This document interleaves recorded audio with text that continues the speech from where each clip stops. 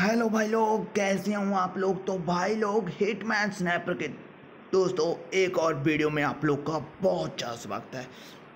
तो भाई लोग, आज हम इस बंदे को उड़ाएँगे और अपने मिशन को पूरा कर देंगे। तो भाई लोग, इसको ढूंढते हैं, पहले कहाँ पर है ये? तो भैया जी जहाँ पर है। ठीक है ना भाई?